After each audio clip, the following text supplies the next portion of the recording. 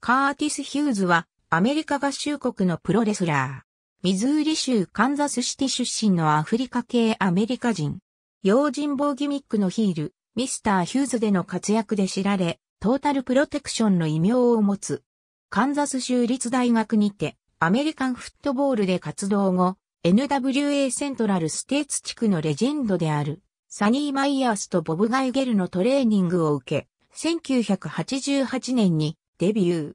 黒人レスラーの大先輩、アーニー・ザ・キャット・ラットにあやかり、当時はカーティス・ザ・キャット・ヒューズを名乗っていた。地元カンザスシティのワウィを皮切りに、アワやテキサスを転戦した後、1990年秋に、アーニー・ラットのニックネームと同じザ・ビッグ・キャットの名で、WCW に登場。翌1991年3月21日、新日本プロレスの東京ドーム大会にビッグ、キャットヒューズのリングネームで初来日し、エル・ヒガンテの対戦相手を務めた。その後、ソフトボーに黒スーツの用心棒キャラクターに変身し、ミスター・ヒューズと改名。サングラスをつけたまま試合を行うスタイルで注目を集める。レックスルガーのボディーガードを経て、1991年の末より、ハーリーレースをマネージャーにビッグバンベーダーと巨漢コンビを結成。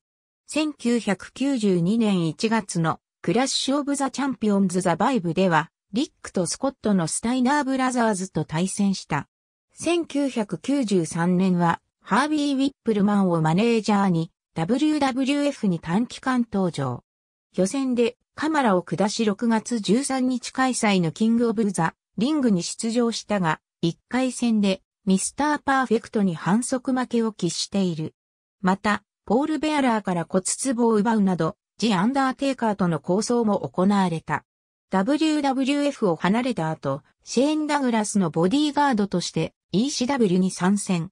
1993年12月26日の PPV ホリデーヘルでは、サンドマン。1994年7月16日のヒートウェーブでは、トミー・ドリーマーに勝利。1996年2月17日のサイバースラムにおいては、ババ・レイ・ダッドリーと肉弾戦を展開した。その間、1994年には WARへ来日、3月2日の両国国技館大会にて、キングハクと対戦している。以後は WWF に単発出場し、1997年はハンター・ハースとヘルムスリー、1999年はクリス・ジェリコのボディーガードをいずれも短期間ながら務めた。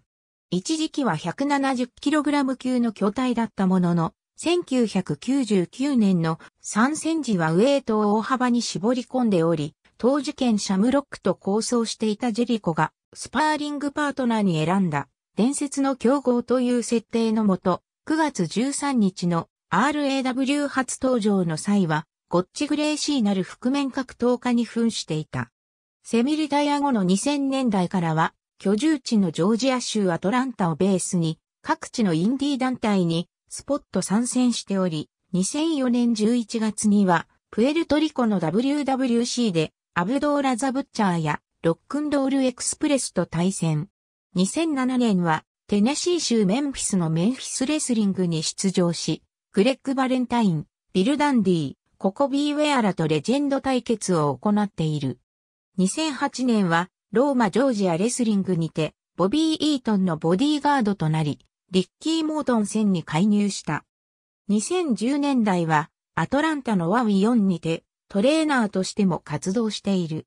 大幅なウェイトダウンに成功し、近年の公式体重は250ポンド。ありがとうございます。